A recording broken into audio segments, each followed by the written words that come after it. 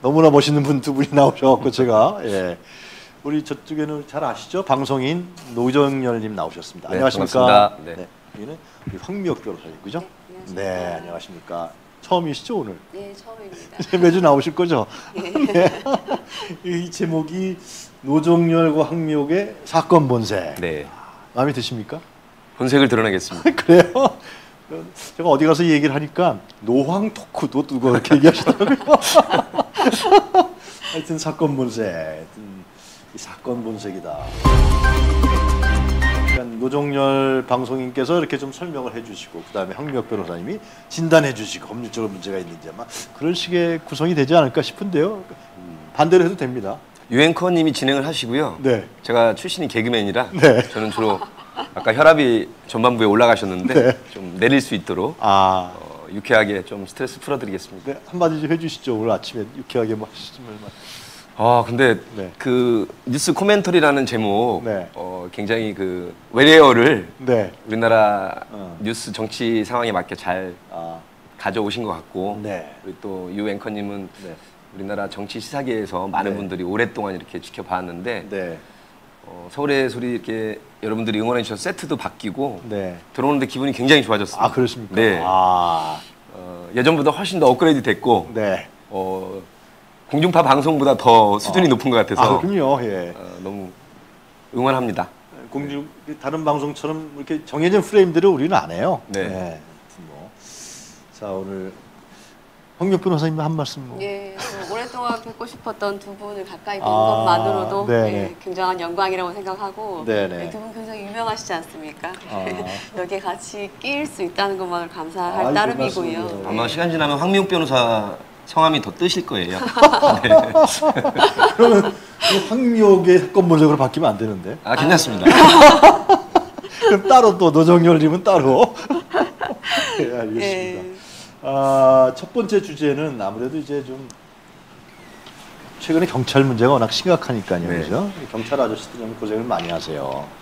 그래갖고 그 특히 이제 그 대정부 질문이라든가 사회에서 또 어, 주목을 받는 분이 있죠. 이상민 행안부 장관. 이 해상- 이상민 행- 장관이 경찰서장들이 회의를 연 거, 어, 당분간 보류하라는 걸 낸 데 대해서 이상민 장관이 형사처벌 가능성을 언급했어요. 어, 그 류- 요즘에 류삼령 총경인가요? 그분이 이제 대기발령 당했는데 형사처벌 될 수 있다라는 거죠.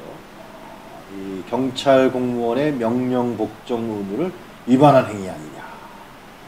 나비 이게 또 이제 그 경찰서장 회의가 구테타에 준하는 사안이다. 자 이런 얘기가 있는데 이 어떻게 보셨습니까? 어느 분이 먼저 음, 황 변호사님 예, 제가 먼저 할까요? 법적으로 좀 분석해 주시죠. 예, 사회자님 말씀 주셨던 것처럼 네. 최근에 이상민 행안부 장관이 경찰국 투진에 반대하는 전국 경찰서장 회의가 열린 것과 관련해서 네. 심지어 하나회의 12.12 쿠데타에 준하는 상황이다라고 어. 하면서 작심하고 비판에 나섰죠. 네. 이것 때문에 지금 여러 가지 말이 많고 또 한간에서는 지금 탄핵이 아니냐 아니면 해임 건의가 아니냐라고까지 지금 얘기가 나오고 있는 상황인데 뭐 편하게 말씀드리자면은 예. 장관의 발언도 사실 부적절했다라는 생각은 듭니다만은 네. 그와는 별도로 일단 네. 경찰의 단체 행동이 좀 적절했는지는 어. 먼저 짚고 넘어가야 될것아 같습니다. 그래요. 음. 예, 지금 여러 가지 작금의 상황을 봤을 때 사실 우리가 이제 검찰 개혁, 검찰 개혁을 부르짖었던 것이 아 검찰은 아니고 음. 경찰이 대안이다라고 해서 검찰 개혁을 부르짖, 부르짖었던 것은 아니거든요. 그런데도 불구하고 지금 어, 경찰국 행안부 내 경찰국을 신설하는 것에 대해서 급격히 단체 행동을 하는 거에 대해서 음. 사실 대부분의 국민들께서는 지금 불안하실 것 같습니다. 음. 그리고 그것이 우리의 뜻은 아니다라고 생각을 그래서 하셨을 이번에 것 주말에 같아요. 한다는 건 취소했잖아요. 예, 그렇죠? 맞습니다. 예, 예. 심지어 다행스럽게 취소되었습니다만은 어, 이 단체 집단 행동에 대해서 반대하고 지도부가 반대하는 입장을 펼치자 음. 앞으로 2차, 3차 회의까지 열겠다고 하는 굉장히 불안한 상황도 펼쳐진 상황이었거든요. 음. 아, 그래요? 음. 다행스럽게도 취소가 되었습니다만은 예, 이 상황에서 일단 장관의 발언의 시비는 조금 이따 이야기하는 걸로 하더라도 어, 이런 경찰의 단체 행동에 대해서는 아니 근데 경찰서장 회의가 구테타에 준하는 상황이라는 게 맞아요? 음. 법률가로서 어떻게 보십니까 이게? 사실 쿠데타에 준하는 상황은 전혀 아니고 전혀 아니고 예. 예. 장관 역시 회의한 거 아니에요 그냥? 그렇죠. 장관 역시나 그 발언 어. 너무 나갔다라고 하면서 좀 유감스럽다라는 표현을 한 걸로도 알고 있습니다. 아, 나중에 이제 여론 밀리니까. 그 이상민 장관의 네. 쿠데타라는 발언 자체가 쿠데타적이고요. 이상민 장관은 예. 지금 마음가짐과 정신 상태를 다시 다지시지 않으면 네. 어, 해임 탄핵이 문제가 아니라 음. 국민들 헌정 역사상 장관이 수천 명이 있었는데 네. 그 중에 가장 worst of worst가 될 수 있습니다. worst 조심하셔야 되고 아니면 네. 자신이 없으시면 사실 그냥 스스로 지금 나오셔도 됩니다. 사퇴를 하셔도. 근데 대통령하고 고등학교 동문인데. 아니 충암구만 대한민국에 고등학교가 있습니까? 아, 그리고 본인이 판사 출신이면 헌법 공부도 하셨고 우리 뭐 수많은 법조인들이 있지만 네. 사실 먼 눈에는 뭐만 보인다고 이 장관 입에서 쿠데타란 말이 나온 자체가 음. 쿠데타적 발언이고요. 아. 사실 이 검찰 개혁이나 경찰 개혁은 모든 권력은 통제돼야 되고 그 통제 주체는 헌법 1조에 나오는 국가의 주인인 주권이 국민들에게 있기 때문에 국민 통제에 있어야 되는 것이거든요. 네. 근데 어 로스쿨 학생들이 누구나 봐도 어 너무나 위헌적인 음. 하위 법령으로 헌법과 법률을 위배하는 경찰국 신설을 하려고 하는 것에 대해서 당사자인 주체인 경찰들이 모여서 회의한 걸 가지고 그런 발언을 네. 했다면 그러면 그 전에 있었던 판사회의와 검사장 검사회의. 회의, 어. 검, 평검사회의는 뭡니까 그러면? 그럼 판사 검사는 괜찮고 아, 검찰이니까. 예. 그러면 판사봉 두드리는 사람들은 괜찮고 어. 몇천 명 안 되니까. 그리고 2천여 명 되는 검사들은 괜찮고. 거기 사법고시 봤잖아. 어려운 시험 봤잖아. 아니 경찰 대학교는 안 어렵습니까? 그래서 이 국민들이 보기에 네. 아, 윤석열 대통령 본인도 그렇고 네. 중대한 국기문란이라고 표현한 것도 그렇고 예. 그게 가장 오른팔 왼팔인 이상민 장관이 쿠데타적이라고 표현한 것 자체가 음. 아마 다음 주에도 지지율 조사가 나오겠지만 네. 점점 반등으로 가셔야 되는데 점점 떨어질 말씀들만 하세요. 아. 정신 차려야 됩니다 두 분. 아니, 변호사님 그 이제 법조계에서 사건 많이 다뤄보셨으니까 알지만 네. 이 검찰들이 경찰을 어떻게 알아요? 어, 일단 검찰 수사관들도 경찰 알기를 아주 그냥 한다 그러던데. 좌지우지 할 수 있으니까요. 그렇죠. 수사지휘권 가지고 있고 음. 최근에 그 검경 수사권 조정한 다음에는 네. 이제 어찌 보면 형사소송, 형사소송법 개정으로 인해서 음. 기존에 있었던 여러 가지 부분에 좀 불송치 권한이 생기다 보니까 이제는 우회적인 방법으로 수사 보안을 여러 번 내리는 방법으로 또 다시 지휘를 하려고 하는 상황이 있는 것 같아요. 예. 그런 부분인 거고. 아 저는 굉장히 기분 나빴을 것 같아. 전에는 말이지 수사 야 그거 하지 마. 더 올려 보강해. 그건 캔슬해. 그랬었는데 이제는 와 이거 안 됩니다. 막 그러니까 경찰들이 음. 검찰들이 굉장히 기분 나빴을 그건. 당연한 거죠. 예. 검찰총장 출신의 대통령도 이 뭐야 이게 뭐야 쟤네들 뭐야 국기 반란하냐 그랬던 것 같아. 예, 검찰들 검사분들 내부에서는 검사의 생명은 수사권이다라고 이야기를 하고 있는데요. 네. 그리고 검사가 가장 권력을 가지는 것은 기소하는 게 문제가 아니라 불기소하는 데서 검사의 권한이 있다라고 덮어주는 거. 하지요. 아, 네. 아. 근데 그 중에 거의 절반 이상을 불송치라는 것을 뺏겨버렸으니 네네네. 예, 결코 편안하지는 않을 것 같습니다. 어, 그래서 이 경찰국 만들라 그러는 거 아니에요? 예, 그렇죠. 그렇죠. 예. 아, 잘하고 있잖아요 경찰들 어쨌든간에 하여튼 뭐 근데 이제 그게 그 저 문제가 있는 것 같아요 결국 이게 국가공무원법을 위반한 겁니까 이게 어, 실제로 국가공무원법 위반이다라고 이야기를 하는데 먼저 말씀 한번 드려볼까요? 네 법률적으로 한번 예, 두 가지 문제가 아, 예, 되죠. 예, 예. 일단 국가공무원법 제 66조에서는 네. 첫 번째 공무원은 집단 행위를 하여서는 안 된다라고 분명히 명시하고 있습니다. 집단 행위는 하면 안 된다. 집단 행위 예. 행위적은 그렇죠. 음. 두 번째로는 국가공무원법 제 57조에서는 음. 공무원은 직무를 수행할 때 소속 상관의 명령에 복종하여야 한다라고 해서 복종 의무 두 가지 규정하고 있습니다. 그러면은 두 가지를 위반하면 당연히 어, 위법한 사항이 되는 것이냐, 형벌 처벌을 받아야 되는 것이냐, 그것은 또 다른 문제라는 다른 거죠. 문제예요? 예. 예를 들면 한번 예를 들면 그 공무원도 인간인데 하여튼 얘기하세요 그렇죠. 예. 쇠고기 파동 났을 때 이명박 네. 정권 때 쇠고기 파동 났을 때 그때 전교조 전교조 소속 교사들이 집단 행동에 나섰습니다. 정부 비판 행위를 하고 나섰는데 이것에 대해서 국가공무원법 위반이다라고 해서 처벌을 할 수도 있었고 안 할 수도 있었는데 결국 처벌은 됐는데요. 이유는 뭐냐면 단순히 집단 행위를 했다고 해서 그 되는 것, 그 처벌의 대상인 것이 아니라 음. 그 집단 행위가 정치적 편향성을 띄어야 되는 것이고 또 당파성을 띄어야만 처벌이 되는 것인데 어렵다. 예 이번에 그걸 누가 판단해? 그렇죠. 판사님이 하신 거예요? 예, 결국에는 판단 주체가 하는 건데 어, 참. 이번에 경찰이 집단 행위 같은 경우에는 글쎄요. 음. 집단 행위의 금지 조항에는 위반될 수도 있겠습니다만은 이것이 과연 정치적 편향성까지 갔냐면 그것은 아니라고 보이고요. 문 판사의 정치적 편향성에 의해서 판단할 수밖에 없는 거. 제가 네. 변호사님 얘기를 들어봤을 때는 예. 그 좋은 판사가 있으면 좋게 하고 나쁜- 가장 중요한 거는 네. 이 윤석열 대통령 음. 본인과 음. 이 오른팔 왼팔로 불리는 이상민 행안부 장관의 음. 대통령령 시행령을 통해서 헌법과 법률을 위배하는 이 조치를 한 것은 그야말로 쿠데타적인 조치들인데 음. 이것에 반대하고자 이것을 저항하고자 일종의 경찰 집단들의 저항권 행사로 보여져요. 그리고 지금 황 변호사님 말씀하셨지만 음. 어떤 범죄가 되고자 할 때는 구성 요건 해당성도 돼야 되고 거기에는 위법성과 책임성까지 결부가 되어야지만 범죄로 인식이 되기 때문에 이것은 어, 위법성 책임성 면에서 먼저 쿠데타적인 조치를 하고자 한 위헌적인 조치를 하고자 한 윤석열 대통령과 어. 이상민 행정안전부 장관에 대한 일종의 14만 경찰 집단들의 저항권적 행위로 보는 것이 타당하다 이렇게 보여집니다. 그러니까 경찰국 신설이라는 것이 갑자기 하는 거 아니에요, 이게 지금? 30여 년 만에 처음 하는 처음 거죠. 아니 그 네. 경찰 시도는 있었으나 경찰이 예를 들면 검찰처럼 뭐 제3 권력을 행사하거나 아니면 수사권을 남용하거나 아니면 인권을 뭐 해서 검찰 집단 자체가 굉장히 권력화됐다. 한때 그런 적이 있었죠. 어, 네. 옛날에 예. 예. 이승만 때 아니면 이제 전두환, 전두환 때. 대통령 물러날 때까지 어, 그렇게 어, 그러면은 뭐 예. 좀 그런 통제 장치를 만드는 거 이해가 가는데 네. 지금 그렇게 잘 하고 있고 또 국가수사본부라든가 여러 가지 또 문재인 정부에서 제가 알고 있기로는 그 통제 장치를 많이 만들었잖아요. 네. 검찰위원회라든가 예. 그럼 그런 거잘 해나가서 또 이제 자치경찰, 행정경찰 분리하고 그러면 되는데 갑자기 경찰국을 만든다니까. 어? 그 이상민 행안부 장관은 아까 제가 네. 몸가짐을 다시 한번 도- 되돌아 보시라는 말씀을 하는 이유가 경고하시는구나. 앞뒤가 너무 안 맞는 말을 해요. 아 그래요?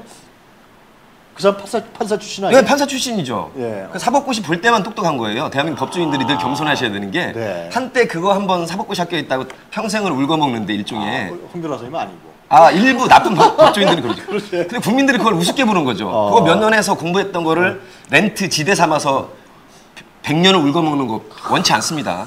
모든 법조인들의 그 시험 한 번 합격한 것은 네. 국민들의 통제하에 있는 것인데 어. 자신들이 한 번 사법고시 합격하고 검사 판사 있다가 마치 100년을 국민들 위해 군림하려고 하는 그 정신 상태, 그 마음가짐을 내려놓지 않으면 굉장히 위험한 처지에 빠지게 되는 거죠. 뭐 촛불 얘기도 나오고 탄핵 얘기도 나오는 건데 우리 국민들이 이미 박근혜 정부를 탄핵해봤기 때문에 어. 학습 효과가 있습니다. 그래요? 그리고 벌써 70일 만에 지지율이 20% 후반에서 30% 초반 나왔다는 거는 빨리 마음가짐을 바꾸시지 않으면 국민들이 언제든지 거둘 수 있는 것이 권력이라는 생각을 빨리 하셔야 됩니다. 국민들이 여유 있게 지켜보고 있구나. 예, 아니 지금 여유 있게 아니라 혈압 올라 있어요. 몰라 있어요. 20, 30대 찍은 사람들이 혈압 올라 있고 아. 이준석과 윤석열의 이 어. 정말 말도 안 되는 갈등을 보는 국민들도 혈압 받아 있고 그럼 언제든지 거둘 수 있다는 생각을 하셔야 됩니다. 아, 이 위험한 상태다. 황 변호사님은 그런 거 이해하시니까 우리가 좀 얘기하는 겁니다만은 이 검찰 됐다고 판사 됐다고 평생을 그리고 경찰도 무시하고 그리고 스카이 스카이 대학 나왔다고 이 현대판 카스트제도 아니에요 네. 저는 그렇게 봅니다. 특히 인사 문제에서 어떤 역대 정부보다 이 윤석열 정부의 인사가 참. 네, 아까 지금 말씀하신 일부 스카이 출신들 편향돼 있고요. 네, 남성 위주로 너무 편향돼 있고요. 네. 어. 그리고 지지율 떨어지는 것 같으니까 갑자기 또 여가부 폐지하겠다고 그러고 이게 앞뒤가 너무 안 맞아요.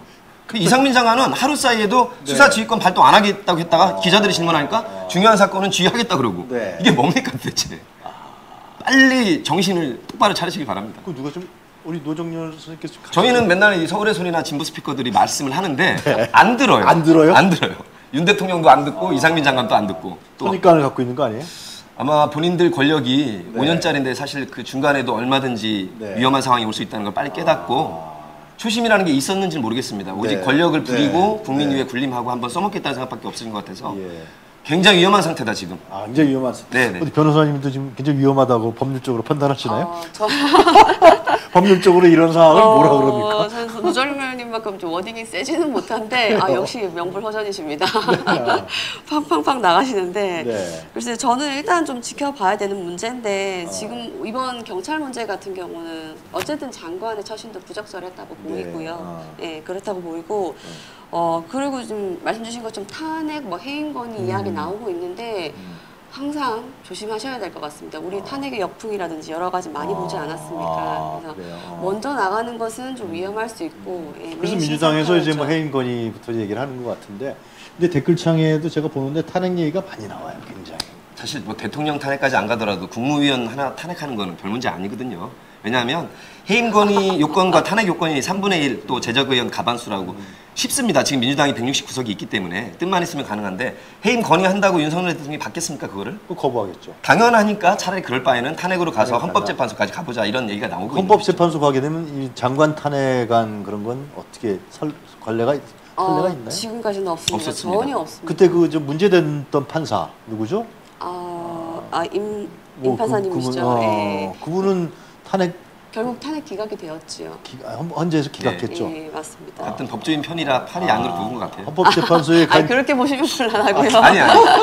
그거는 이제 황 변호사님은 이제 법조인이라 네. 굉장히 아. 어, 면밀한 아. 그래서 아주 촘촘하게 따져보시는 거고 근데 법이 한 축이라면 우리 국민들의 법정서 정치적인 감정 정치적인 정서라는 게 또 있는 겁니다 그래서 권력을 4년마다 한 번씩 바꾸기도 하고 5년마다 한 번씩 바꾸기도 네, 하고 그렇죠. 예. 예전에 이제 행자부 장관 손보려고 행- 한나라당에서 음. 김두관 행자부 장관 맞아. 해임안 냈었을 음, 때 노무현 대통령. 그거는 권관이기 때문에 노 대통령의 재량이거든요. 받아들일지 아. 안 될지는. 그러나 김두관 행정자치부 장관이 어, 정부에 부담이 될까봐 스스로 사퇴를 했죠. 아 그랬나요? 예, 그렇게 했습니다. 만약에 이번에 해임안을 냈는데 이상민 장관이 윤석열 대통령한테 부담이 될까봐 학교 선후배 사이니까 자진 사퇴를 한다면 그나마 모양새가 잘 풀릴 텐데 이것은 중고등학교 사회 시간에 헌법 법률 명령 규칙이라는 이 지구상에 존재하는 헌법 법률 명령 규칙 체계 자체를 정면으로 대놓고 위반한 것이기 때문에 이상민 장관은 그 생각까지 하고 아마 아. 저질렀을 거라고 봅니다. 아니 이상민 장관 그만두면은 예. 검찰 출신 안 치면 되는 거 아니에요? 그럼요. 얼마든지 후, 뭐 예, 후보들은 수, 많이 명 있어요, 그냥 예, 특수부 출신들. 특히 예. 이완규 검사 출신 법제처장이요. 아, 예. 나중에 헌재 탄핵 심판이 들어가게 되면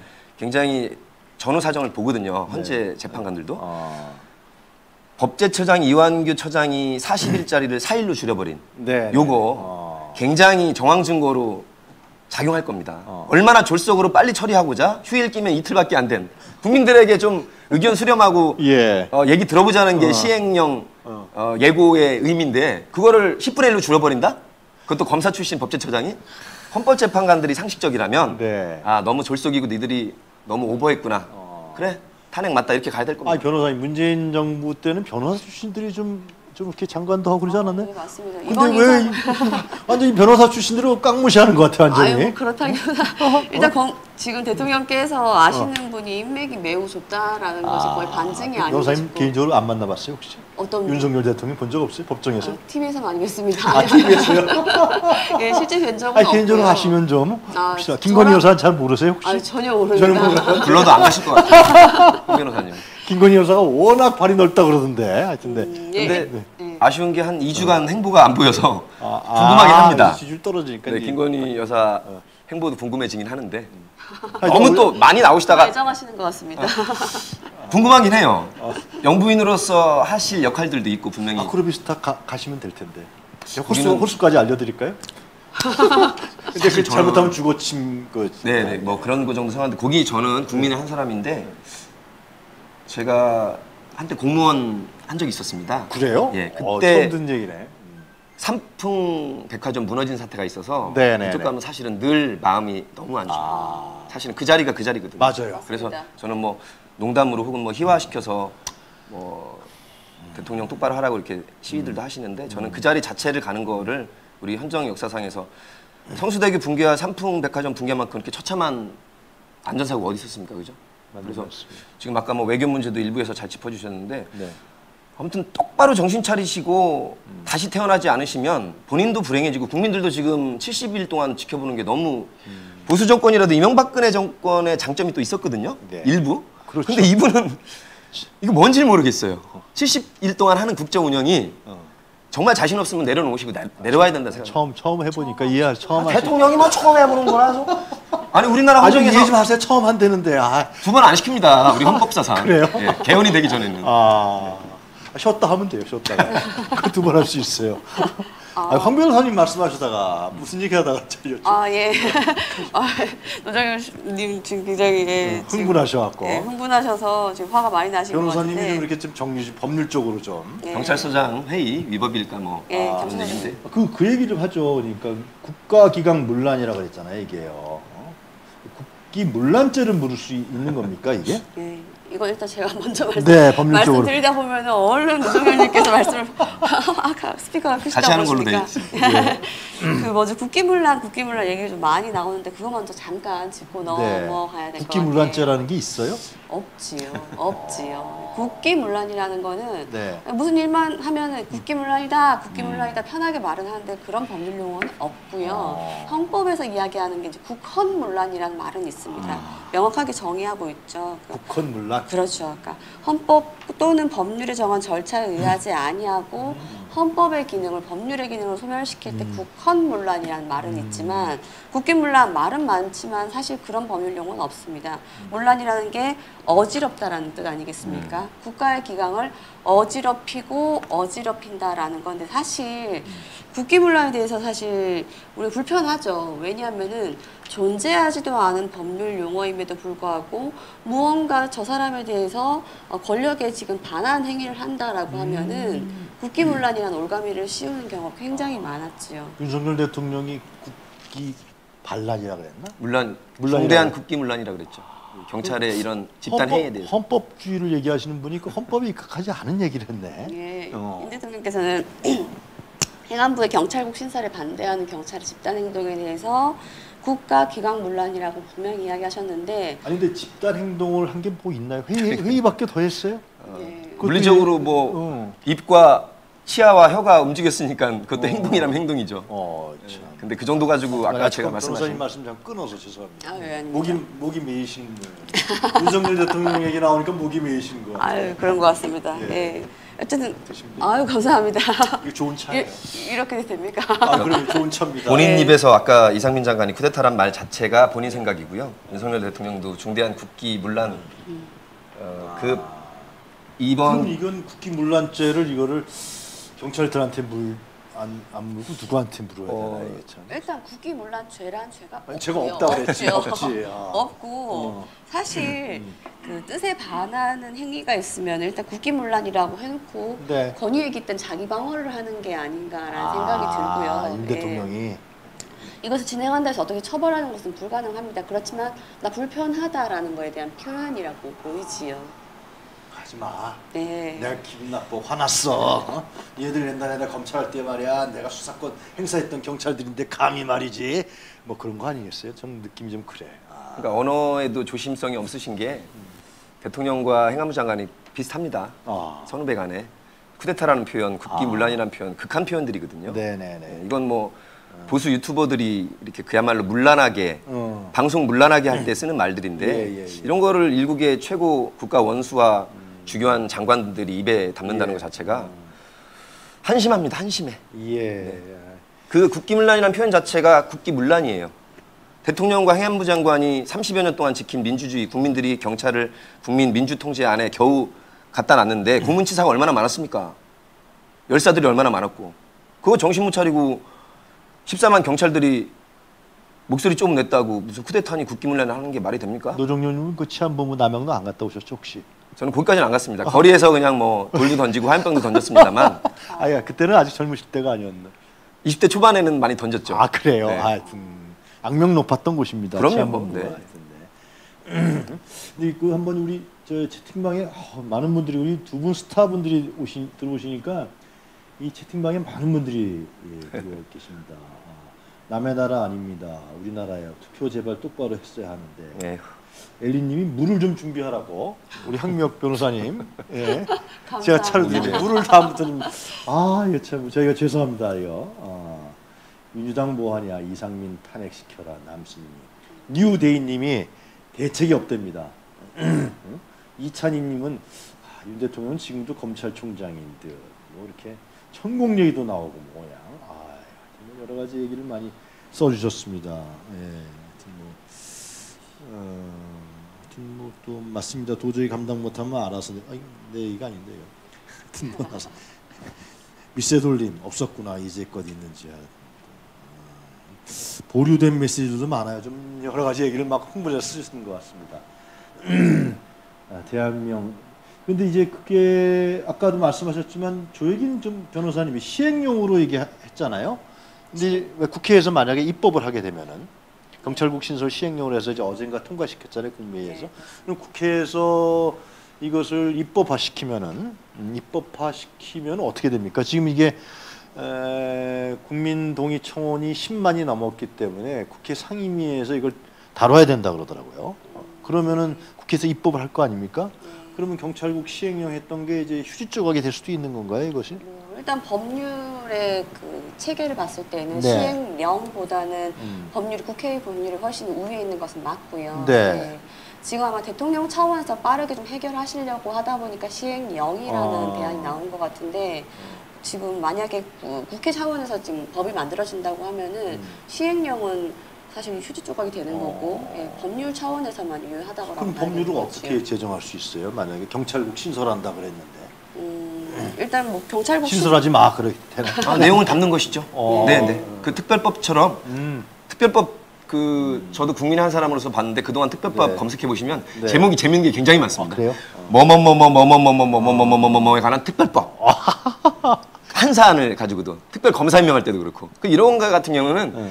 어, 헌법과 법률을 정면으로 위배한 경찰국 설치 시행령 폐지 법안입니다 그냥 아. 그렇게 간단하게도 법안이 짧게 나오더라고요 보니까 우리 노정렬님께서 그거 좀 해서요. 네. 국, 그, 그 문지당 네. 행안위 국회의원들 네. 좀 하라고 좀 보내세요 좀. 아, 얘기는 여러 차례, 여러 차례 했습니다 어제 아, 그래요? 방송에서도 여러 차례 했고 아 예 예. 민주당에도 율사 출신들 법조인 출신들 국회의원 엄청 많거든요 아, 그래요? 수십 명이 있기 때문에 어, 매사가 타이밍이 중요합니다 타이밍. 예, 파, 3월, 다음 주 8월 2일 날 출범을 하는 이 경찰국 네, 네, 네, 네. 어 막상 시행에 들어가면 또 거기대로 움직일 거예요. 맞아요. 조직과 인사 맞아, 예산이 맞아, 있기 맞아. 때문에 아. 그거를 하루 빨리 탄핵 조치든 음. 특별법을 제정해서라도 빨리 이 무도한 이 헌법 문란에 대해서 음.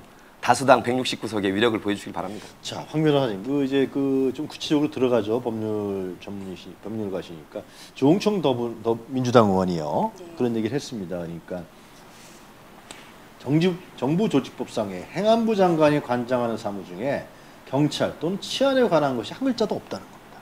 근데 이거 시행령으로 한 거 아니에요? 네, 그렇죠. 문제되는 거 아닙니까? 조, 그래서 탄핵이 나온다. 조 의원이 그런 얘기 주장을 했는데 어떻게 보세요? 일단 타당하다는 생각이 들고요. 아, 타당해요? 실제로 어. 정부 조직법에 네. 보면은 네. 어, 행안부 장관 하는 행안부 장관이 하는 일 중에서는 경찰과 치안에 관련된 업무가 없음에도 불구하고 현실적으로 음. 행안부 장관이 경찰에 대해서 많이 통제를 하고 있었고 음. 어, 지휘권 행사했던 것도 사실인데요. 음, 정면으로 가게 되면은 이 법에 대한 위반이 되는 거죠. 아, 그래요? 그렇죠. 음. 탄핵 같은 경우는 법에 위반된 경우에만 탄핵 소추가 가능하고 해임 건의 같은 경우는 굳이 위법이 아니어도 정치적으로 잘못된 행위가 있을 때도 해임 건의가 가능한데 사실 우리가 그냥 대충 듣기에도 탄핵이 훨씬 세다라고 생각하지 않습니까? 네네네. 어, 실제로 상황이 이렇게 돼버리면은 정면으로 정부 조직법 위반 아니냐라고 하면 탄핵까지도 문제가 될 수는 있는 음, 것이지. 하여튼 이건 가능한 부분이다. 또 권은희 국민의힘 의원, 이거 안철수와 같이 했던 사람인데 하여튼 뭐 딱 하니까 비례를 유지하기 위해서 국민의힘 의원을 하는 것 같은데 정부조직법 제34조, 경찰법 제10조, 경찰 공무원법에 위배한 하위 법령 문제점이 확인 뒤에는 이것은 행, 행장, 행안부 장관에게 탄핵 소추가 논의가 진행될 것이다. 이것도 맞는 얘기입니까?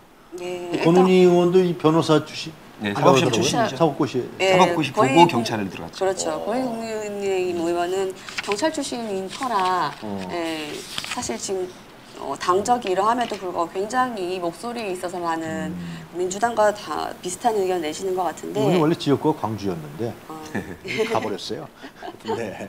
예, 여튼 지금 상황은 마, 마, 말씀드린 것처럼 탄핵 소추가 되기 위해서는 장관이 법을 어겨야만 가능하다 보니까 여러 가지 위법 사항에 대한 이야기가 많이 나오는 것다 같은데요. 설득력 있는 얘기. 예. 그다음에 서영교 의원 이 행안부 위원장 했을 거예요. 이? 예, 위원장이었었죠. 예, 예. 지금 무슨 뭐 반대 무슨 투쟁위원회 뭐 하고 있는 것 같아요. 경찰 이 저지 대책위원장이었다가 어. 이번에 최고위원 출마하면서 그 자리를 한정혜 의원이 지금 의원. 경찰 장악 저지 대책위원장이 됐어요. 바, 네, 바뀌었습니다. 우리 노정렬님 잘 아시는 거예요, 네. 다. 저는 친하, 친하세요? 국민의힘 의원들도 많이 아는데요. 아, 그래요? 네, 자, 잘 언급은 안 하고 국민의힘은 누구 아는 사람 누구 있어요? 원희룡 뭐 권영배 의원도 아니고 장관급 올라간 사람은 다 아는데 다 알아요. 어, 한 20년 전부터 제가 입장이 이제 민주 진보적으로 이렇게 아. 제가 커밍아웃 하고 이러다 보니까 블랙리스트에도 들어가고 블랙리스트까지 갔었어요? 아 이명박근혜 정부 때 9년 반 있었습니다. 화이트리스트는 안 되고요. 예, 안 되더라고요. 문재인 정부 때는 화이트라는 게 없습니다. 공정하게 그냥. 공정하게. 예, 좀 서운하기도 한데 그게 원래 원칙인 것 같고요. 그래요. 아무튼 민주당 의원들 20여 년째 알고 있는 의원들도 많아서 네. 늘 국민의 목소리를 전합니다. 그럼 근데 윤석열, 윤석열 정권에서는 그냥 자동으로 올라가셨겠네 블랙리스트로 지금. 여기는 뭐 필요가 없죠. 필요가 없나요? 예, 아. 저희들이 알아서 이제 어. 진보 유튜버로서만 아, 활동을 하고 그렇죠. 아. 공중파에서는 지난 2월 중순까지 네. 시사 MC를 하다가 지금 퇴출이 됐기 때문에 아 그러시네요. 아마 국민들도 다 아시고 어. 중요한 거는 민주당 169석의 의원들 중에 스펙트럼이 너무 다양해요. 네네. 이렇게 아. 개혁적인 분도 있고 어. 사실 국힘에 가도 전혀 손색이 없을 정도의 보수적인 분도 있고 가지고 그래요? 이 지금 해임 탄핵 가지고도 아마 내부적으로 지금 원칙과 이론은 강행을 해야 되는데 강행이란 말이 부담스럽고 역풍 맞을까봐 또 일부 보수 신문에서 어, 너무 막 가는 거 아니냐 이렇게 공격할까봐 지금 몸을 사리고 있는 또 조중동에서 얘기하겠지. 뭐. 예. 아 역풍 맞을 거다. 뭐. 당연합니다. 근데- 그럼 또어 역풍 맞아. 그런 걱정을 하면 어. 2년 2, 개월 전에 역사상 처음으로 180석을 밀어준 국민들의 뜻은 뭐가 됩니까? 아. 더군다나 이렇게 정면으로 위배한 거에 대해서는 즉각적인 조치를 해야지 안 그러면 윤석열 대통령과 이상민 장관 혹은 지금 정부 국무위원들이 169석 알기를 아마 전문용어로 졸로 볼 겁니다. 어, 니네는 어. 106 거대 공룡이 돼서 아무것도 못해. 맞아. 우리는 즉각 즉각 그럼. 분단위로 할 일 해. 그렇지. 얼마나 무시하고 졸로 보겠습니까? 국민이 찍어준 국회의원 금배지 보기를. 저 같아도 입장, 제가 장관이잖아요? 아이고, 니네 300명 국회의원들 뭐하냐, 니들? 우리 과장만도 못하지? 그렇지. 그런 일을 하고 있어요, 지금. 아니 한동훈 장관은 그렇게 보는 것 같아. 당연히 보죠. 그러니까 국회 대정부 질문 나오면 뭐냐? 그 누, 누구죠? 얼마나 여유 있게 받아칩니까? 어, 그냥 다 그러니까 아무 소리도 못 해. 한심해요, 지금. 이 입법부 국회의원들 보면. 아, 월급은 세비 꼬박꼬박 받아가신지 모르겠지만, 이 100만, 굉장히 받아가더라고요. 아, 한 1,200만 원 되고 정책 활동비까지 합치면 더 많습니다. 황 변호사님 이 대목에서 하신 말씀 없습니까? 국회의원들 그 세비에 대해서.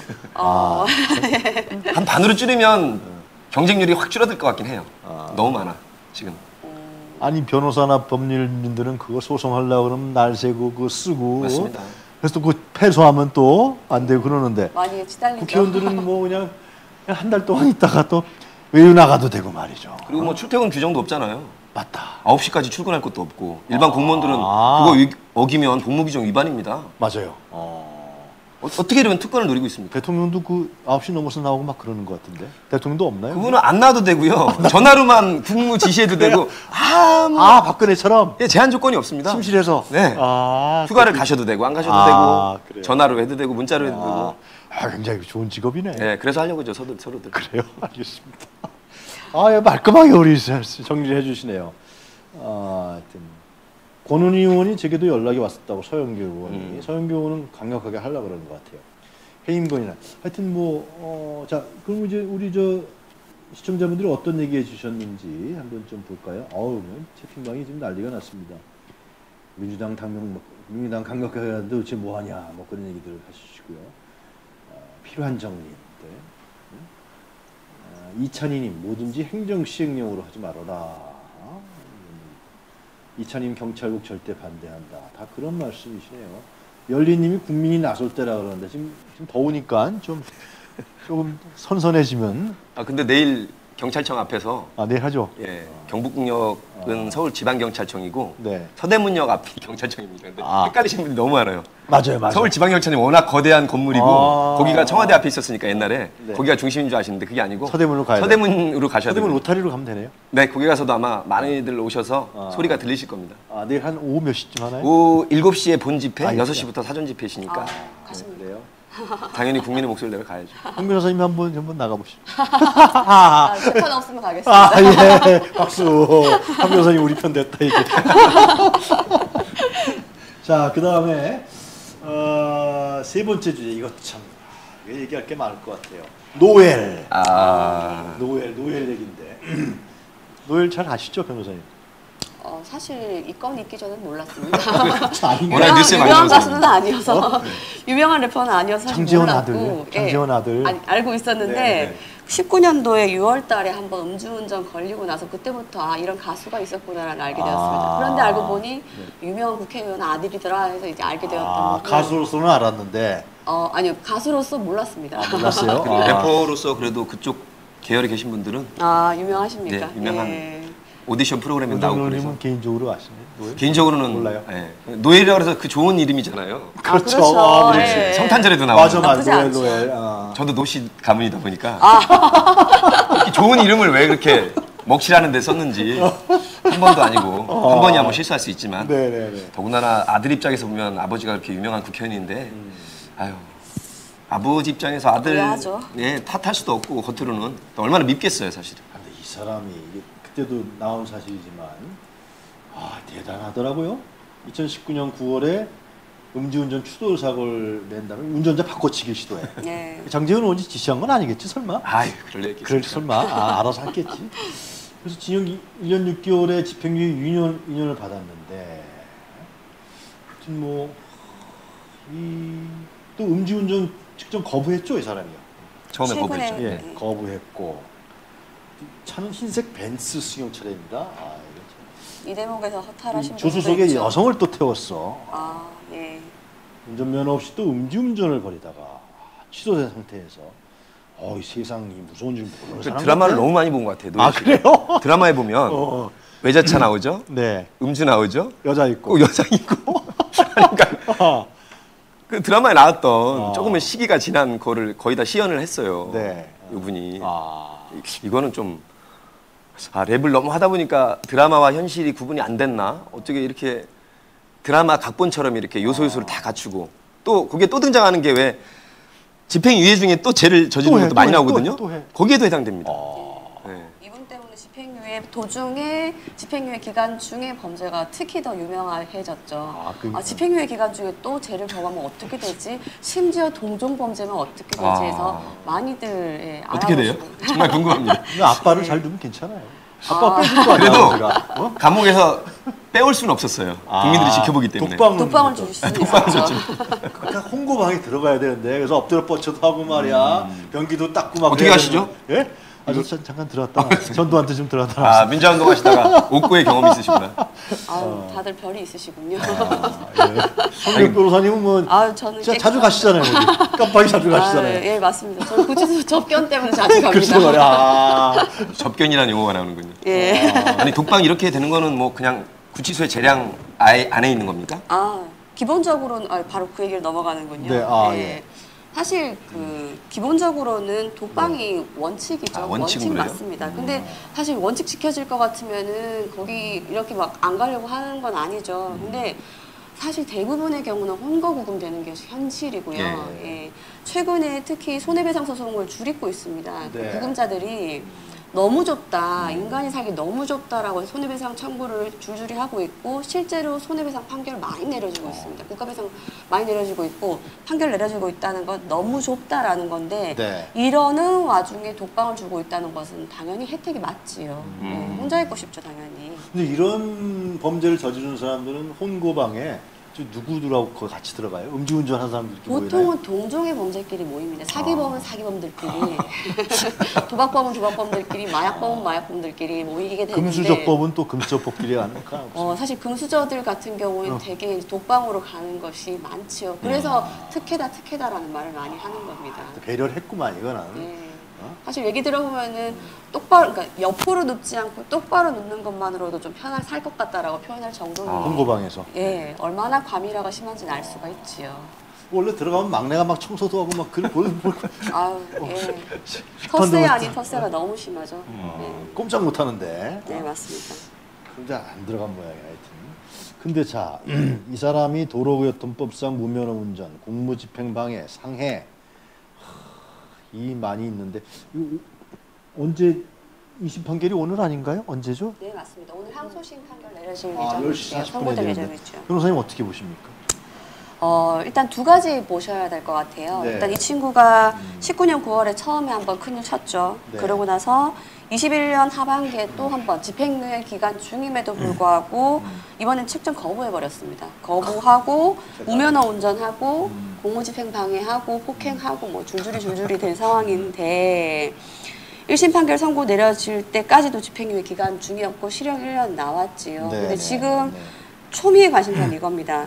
1심 판결이 4월 달에 선고되고 음. 어, 한달 뒤였죠. 한 달 뒤에 우리 유명한 윤창호법 위헌 판결 내려지지 어. 않았습니까? 이 친구에게 적용됐던 그 법령이 위헌 판결 내려지다 보니까 네. 오늘 10시 40분에 판결 내려지는 것이 아무래도 예, 굉장히 형이 감경되지 않을까라고 예상하시는 분들이 많아요. 유창호법 것 때문에. 많은데 뭐 이거 부분 좀 더 얘기해봐야 될 부분이겠습니다만 네. 위헌 결정 나온 건 이런 거거든요. 한 번 그러니까 이진아웃 돼버렸는데 네. 한번 음주운전 한 사람이 10년 전에 음주운전 한 사람과 2년 전에 음주운전한 사람을 똑같이 가중처벌한 음. 것은 이건 너무하다라고 해서 헌법재판소가 위헌 결정을 내린 거거든요. 예. 그런데 지금 이 친구 같은 경우에는 네. 19년 9월에 음주운전하고 불과 2년도 안 돼서 심지어 집행유예 기간 중에 네. 음주를 또 범했단 말이에요. 음주 추정 거부했단 말이에요.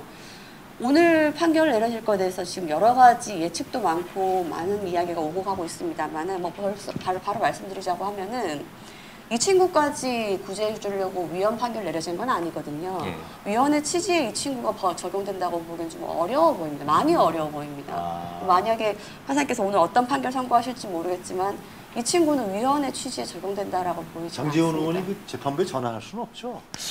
그랬으면 그 재판부는 바로 녹음을 할 거기 때문에 아 그래요? 아 요즘은 그 못하죠. 예 아. 아마 걸리지 않을 범위에서 아. 말을 한다 하더라도 네네. 반 바로 녹음, 녹음 이 될 겁니다. 아. 근데 변호사님 이거는 음.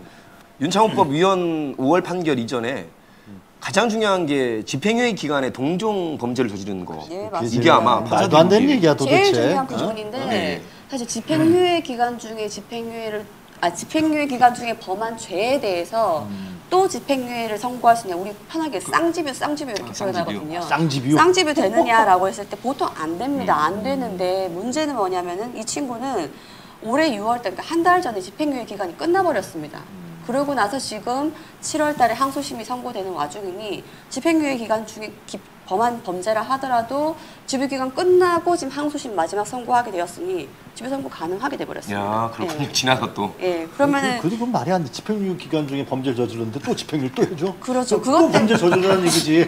나 그 판사 이름 좀 알았으면 좋겠단 말. 맞아요. 예, 그것 때문에 사실 어, 사- 그 구치소 안에 있는 사람들 은 또너 집행유예 또 집행유예 할 테니까 또 저질러 저질러 예, 해주라는 거 아니에요? 빨리 판결 아. 선고를 집행유예 기간 중에 하기 위해서 빨리빨리 스피디하게 스피디하게 하는 경우 있는데 위에서 보면 법대에서 다 알고 있거든요. 꼼수 부리는 거 다 알고 있기 때문에 스피드하게 해달라, 그러니까 천천히 해달라, 천천히 해달라고 요구해도 얼른 얼른 선고를 하는데 이 친구 재판 일정 스피 그 재판 일정 봤을 때는 그렇게 무리해 보이지는 않아요. 네. 아니, 근데 말이죠. 저는 게 일반 사람들이 집행유예를 받잖아요. 선고 받잖아요. 그러면 조심하잖아요. 그럼요. 네. 근데 그것도 하는 그 배심은 뭘 믿는 거예요 도대체? 아버지가 백은 좋죠. 아, 지금 또 장재원이란- 핵심이, 핵심이 또 이제 네. 권력 핵심이니까 근데 아무리 백이 좋아도 아빠한테 정말 자식으로서는 저지르서는 안 되는 큰 상처를 준 거죠. 그건 그렇죠. 장재원을 볼 때마다 모든 국민은 노예를 떠올립니다. 맞습니다. 이게 뭡니까? 예? 아무리 윤핵관이고 찐핵관이면 뭐합니까? 정말 이건 아들이 찐핵관이다. 아버지 얼굴 너무 먹칠했어요. 혹시 형이 가- 낮게 나와도 중하게 살겠다고 하세요 노엘 씨. 제가 제 제가 너무 심하니 윤창호법 위헌 그거 적용하지 마시고 저 가중처벌 해주십시오라고 그 말이라도 해야 그래도 국민들이 아 제 정신 차렸구나, 지 제값을 받으려고 하는구나. 그게 아마 노엘 씨가 법정에서 할 태도지. 짧게 나왔다고 좋아서 만약에 만세.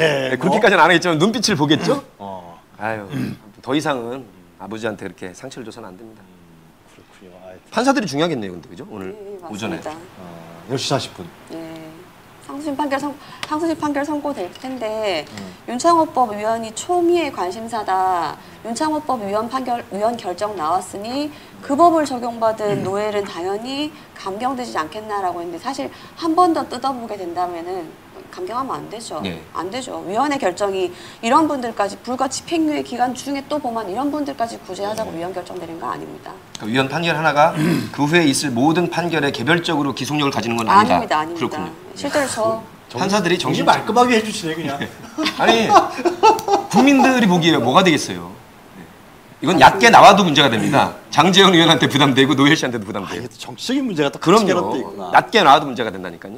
장지원 의원 이거 좀 어떻게 나올까 조마조마하겠네 그냥. 정상적으로 나와야 본인도 아니, 그래도 의정 활동이 좋으실 거예요. 장지원 의원이 지금 핵심인데 대통령 비서실 뭐 인사를 장지원 의원이 다 추천했다는 얘기도 많이 들려요. 아이, 꼼짝 말한데 지금 뭐. 하여튼 그래도 중요하겠죠. 봅시다 오늘. 뭐. 자, 뭐 어, 지금 어 시간이 많이 지났는데요. 어, 노엘 장지원 뒷백이 아니라 이것도 좀 우리 노정열 선생님께서 다 정리해 줬어요. 뭐 그런 얘기가 쭉 나와 있습니다. 사- 박준하님이 너무 상처는 무슨 그 나물의 그 밥상이지. 미치겠다. 미치겠다. 제가 유튜브지만 방송에서 예. 절제하면서 말씀드리고 있습니다. 아, 그분이 절제하시는 거예요. 예. 아이고 참또 한번- 이렇게 생각하시는 국민이 반 이상이실 거예요. 무슨 맞아, 상처냐? 맞아 맞아. 부전자전이지 뭐 이런 생각들이 많으실 거예요. 유전자 전은 아니겠죠 설마. 네, 하여튼 뭐 젊은 사람이 뭐 하여튼 그렇습니다. 자 오늘 어 시간은 많이 지나서 오늘 두 분 첫 시간인데 이 너무나 저 노정열과 황미옥의 사건 본색 아 이 본색을 정확히 이제 아. 드러내 주신 것 같아요. 하여튼. 하여튼 감사하고요. 황, 황 변호사님은 첫 시간인데 아, 예, 음. 다음에는 저 물을 꼭 준비해 놓도록 예, 하겠습니다. 알겠습니다. 그렇게 하겠습니다. 자, 그럼 노정열과 황미옥의 사건 본색 마치겠습니다. 감사합니다. 고맙습니다. 네, 고맙습니다. 자, 여러분 오늘 7월 28일 화요일 에, 이용화의 뉴스 코멘터리 어떻게 보셨습니까? 저희들이 오늘은 여러 가지 사건들을 많이 다룬 것 같아요. 정치적인 문제, 현안. 그러면서 또 이제 혈압 오르신 분들도 있었고요. 또 우리 두 분 황미옥 변호사님과 노정열 방송인 두 분께서 나오셔서 여러 가지를 정확하게 또 찝어주시고요. 법률적으로 해석도 해주시고 그래서 여러분들이 궁금해하시고 또 의아했던 부분들이 정리가 말끔하게 되지 않았을까 생각이 들고요. 또 오늘 채팅방에 에, 이전에 비해서 많은 분들이 들어와 주셔서 격려도 해주시고 의견도 주셔서 너무 감사드립니다. 저희들 아, 내일 내일 또 금요일 날 금요일 날은 저희 여론조사 이- 이번 주에 여론조사를 갖고서 한번 좀 정리해보는 시간을 갖습니다. 그리고 노종열님과 황교프랑 또 다음 주에 저희들이 또 초대해 드리고요. 자 오늘 이렇게 인사를 드리겠습니다. 좀 아쉽습니다만은 또 저희 매일매일 하니까요. 내일 아침 8시에 찾아뵙겠습니다. 감사합니다.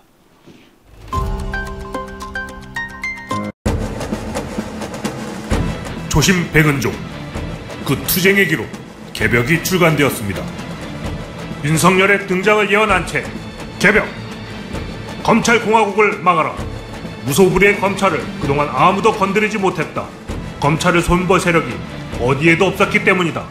하지만 뛰는 검찰에 나는 국민이 있다. 전두환 군부 독재와 이명박근혜 정권마저 붕괴시킨 촛불 시민들이 그따위 검찰 출신 나부랭이들의 복고에 굴하겠는가? 위기의 대한민국 윤석열 검찰공화국에 맞서 싸울 촛불 시민들의 투쟁의 지침서 조심 백은종 국가와 민족을 위한 그 투쟁의 기록 개벽 여러분의 지지와 성원을 기다립니다. 감사합니다.